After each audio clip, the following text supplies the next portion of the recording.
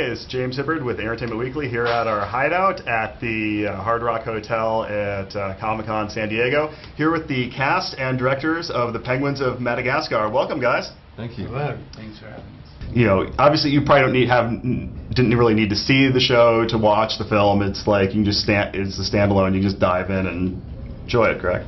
Well, actually, it's built on the timeline of the movies. But Oh, really? They're, they're parallel universes. So there's Okay. the Penguins of Madagascar in the three movies, and then Right. there's the TV show. And we're we're staying fast on the the three movies. And so, uh, Penguins of Madagascar takes literally uh, after just after Madagascar three is finished. Oh, okay, okay. And uh, and uh, you play uh, Agent Classified. I do. Yeah, which is an awesome name. It's a very good and name. uh, and wh- what can you tell us about your character? He's a wolf. Uh, he's a highly trained wolf who's Mm. the head of uh, an elite task force called the North Wind, Mm. um, and their task is to protect animal welfare wherever it's under threat in the world. Uh, Tom, you're on the series version as well, right? Oh yeah, yeah. Yeah. So so what, what was different about working on this versus the uh, the, the show?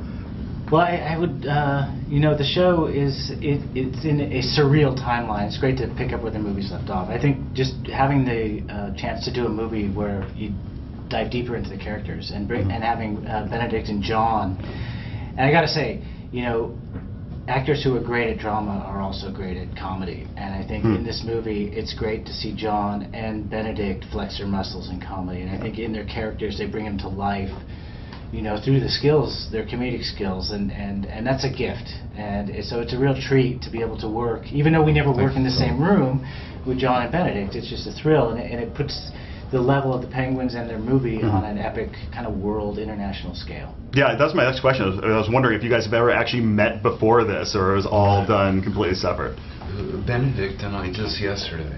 Yeah. Um, First time yesterday. And, and, and, and how'd that meeting go? it was good. I asked, I, you know, I asked him what it was like to play an evil octopus. I think that was one of my first questions that I had to ask him, and it's not really the conversation I imagined having with the great John Malkovich, but it was it was fun. No, it was fun. very good. It was great. Yeah. And, and so you play the evil octopus, and, and so tell us a little about your character.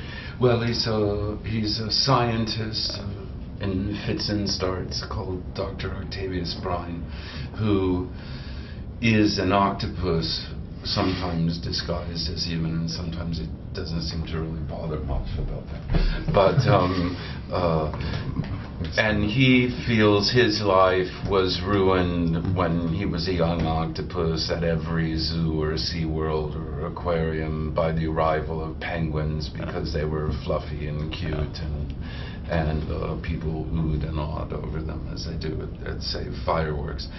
So he had a real has a real resentment of of penguins and is none too fond of these four penguins either, and who don't even remember him. Mhm. Um, and so he wants to essentially get rid of them, mutate them into a different and altogether ugly and uncute life form.